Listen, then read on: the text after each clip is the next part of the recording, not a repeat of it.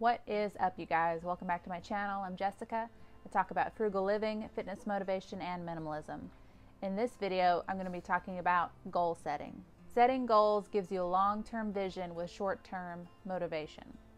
So, you can do this in many ways. With the baby steps, that kind of gives you goals for getting debt free, financial freedom, and living and giving like no one else.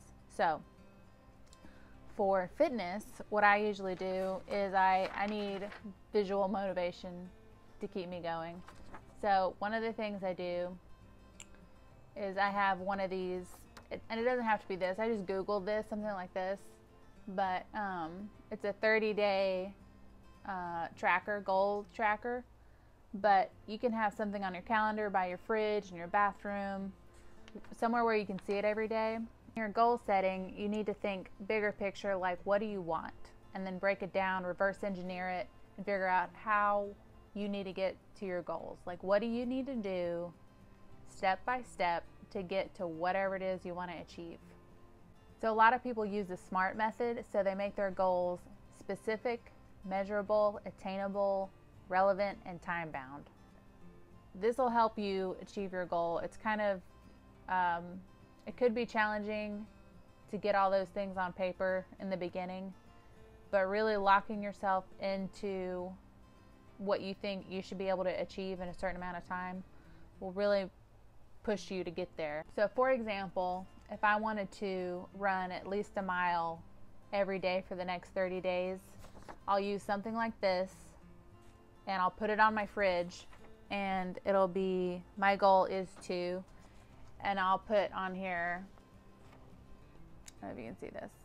I'll put on here, my goal is to run at least one mile every day. And one time I did this and I, I got even more specific and I was like, except for, except for Tuesdays.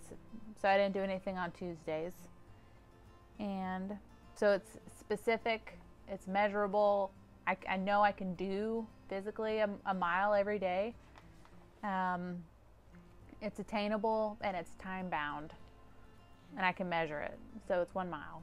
Another way I track goals, that you see me use these a lot. I love these fill in, color it in trackers because I can see progress happening and it keeps me motivated to keep going with whatever financial goal I have too. So here's a few tips when you're setting your goals. It's to write them down so writing writing your goals down kind of crystallizes it and puts it into the world like you've you've removed it from your brain and you put it into the world. This is your goal. Another tip is to prioritize your goals. So if you have a lot of goals, just it can feel over overwhelming. So just write them down and put them in priority.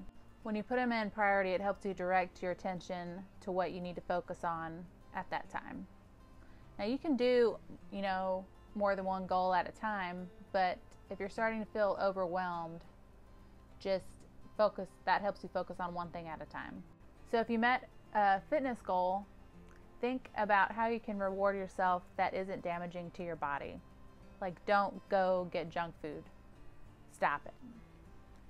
So, you can reward yourself with things like a massage if you're able to get one of those right now because of COVID, buy yourself that shirt or that massage or that video game or whatever the case may be. But try not to focus on food as a reward for meeting fitness goals.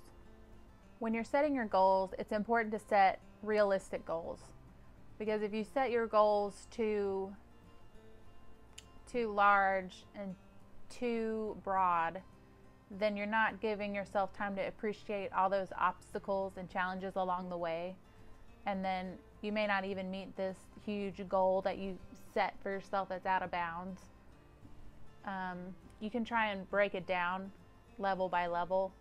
When you're setting your goals, you should dream big, think outside the box, think long term, you know, as big as you want to go.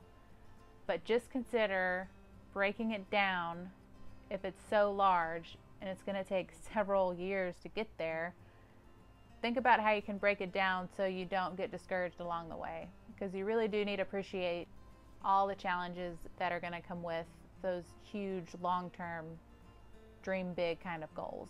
My goal for the next 30 days is to run at least a mile. I have a treadmill, so it's to run at least a mile on my treadmill every day for the next 30 days. And I'm to keep track of it on this page so it keeps me visually motivated. And I'll keep y'all informed of my progress along the way.